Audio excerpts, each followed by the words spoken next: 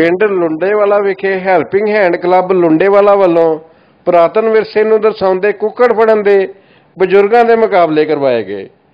ਇਸ ਮੁਕਾਬਲੇ 'ਚ ਕੁੱਲ 12 ਬਜ਼ੁਰਗਾਂ ਨੇ ਹਿੱਸਾ ਲਿਆ ਅਤੇ ਇੱਕ ਦਿਲਚਸਪ ਮੁਕਾਬਲੇ 'ਚ ਬਜ਼ੁਰਗਾਂ ਨੇ ਮੁਰਗੇ ਨੂੰ ਫੜਨ ਲਈ ਆਪਣੀ ਪੂਰੀ ਵਾਹ ਲਾ ਦਿੱਤੀ ਅਤੇ ਮੁਕਾਬਲਾ ਵੇਖਣ ਵਾਲੇ ਵੀ ਬਹੁਤ ਉਤਸ਼ਾਹਿਤ ਨਜ਼ਰ ਆਏ।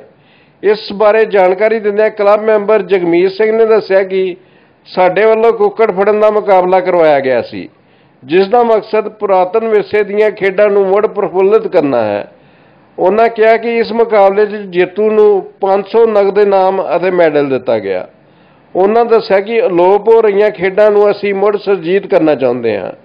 ਇਸ ਮੌਕੇ ਵੱਡੀ ਗਿਣਤੀ 'ਚ ਪਿੰਡ ਵਾਸੀ ਹਾਜ਼ਰ ਸਨ ਜਦਕਿ ਮੁਕਾਬਲਾ ਜਸਵਿੰਦਰ ਸਿੰਘ ਨੇ ਜਿੱਤਿਆ। ਜਸਕਰਨ ਸਿੰਘ ਹੈ ਜੀ। ਕਿਸ ਤਰ੍ਹਾਂ ਦਾ ਮਹਿਸੂਸ ਕਰਦੇ ਹੋ ਜਿਹੜਾ ਇਹ ਚ ਭਾਗ ਲਿਆ ਸੀ ਕੁੱਕੜਾਂ ਦੇ ਮੁਕਾਬਲੇ 'ਚ? ਅਸੀਂ ਸ਼ੌਂਕ ਨਾਲ ਹੀ ਕੀਤਾ ਜੀ।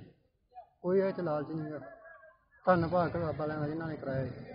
ਤੇ ਕਿੰਨਾ ਨਾਮ ਵਗੈਰਾ ਰੱਖਿਆ ਗਿਆ ਸੀ ਇਹ 'ਚ? ਨਾਮ 500 ਰੁਪਏ ਜਗਮੀਤ ਸਿੰਘ ਜੀ।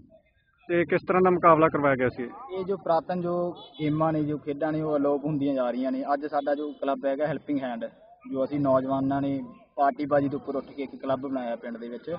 ਜਿਹਦਾ ਕਿ ਬਹੁਤ ਹੀ ਵਧੀਆ ਰਿਸਪੌਂਸ ਹੈਗਾ। ਅਲੋਪ ਹੋ ਚੁੱਕੀਆਂ ਜਿਹੜੀਆਂ ਗੇਮਾਂ ਨੇ ਅਸੀਂ ਉਹਨਾਂ ਨੂੰ ਪਿੰਡ ਦੇ ਵਿੱਚ ਦੁਬਾਰਾ ਫਿਰ ਤੋਂ ਇੱਕ ਵਾਰ ਸਟਾਰਟ ਕਰ ਰਹੇ ਹਾਂ ਤੇ ਆਉਣ ਵਾਲੇ ਟਾਈਮ ਦੇ ਵਿੱਚ ਵੀ ਜਿਹੜੀਆਂ ਗੇਮਾਂ ਅਲੋਪ ਹੋ ਚੁੱਕੀਆਂ ਨੇ ਉਹਨਾਂ ਦੇ ਅਸੀਂ ਟੂਰਨਾਮੈਂਟ ਵਗੈਰਾ ਜੰਗੀ ਪੱਧਰ ਤੇ ਪਿੰਡ ਦੇ ਵਿੱਚ ਹੀ ਸ਼ੁਰੂਆਤ ਕਰਾਂਗੇ।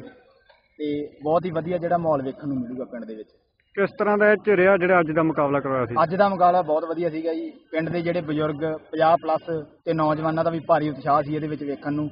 ਤੇ ਬਹੁਤ ਹੀ ਵਧੀਆ ਰਿਹਾ। ਇਹਦੇ ਵਿੱਚ ਤਕਰੀਬਨ 12 ਜਿਹੜੇ ਮੈਂਬਰ ਸੀਗੇ ਕੁੱਕੜ ਫਾਰਮ ਵਾਲੇ ਉਹਨਾਂ ਨੇ ਹਿੱਸਾ ਲਿਆ ਤੇ ਇੱਕ ਜਿਹੜਾ ਵਿਜੇਤੂ ਸੀਗਾ ਅ, ਜਸਕਰਨ ਸਿੰਘ ਜੱਸਾ ਸ਼ਾਇਦ ਉਹ ਅ, ਵਿਜੇਤੂ ਰਹੇ ਆ ਇਹਦੇ ਕਿੰਨਾ ਵਿੱਚ। ਨਾਮ ਦਿੱਤਾ ਗਿਆ ਤੁਹਾਨੂੰ 500 ਰੁਪਏ ਇਨਾਮ ਸੀਗਾ ਇਹਦੇ ਵਿੱਚ ਜੀ। ਸੋਨੀ ਡੱਲਾ ਦਿਵਿਆ ਪੰਜਾਬ ਟੀਵੀ ਗਿੱਦੜਬਾਹਾ।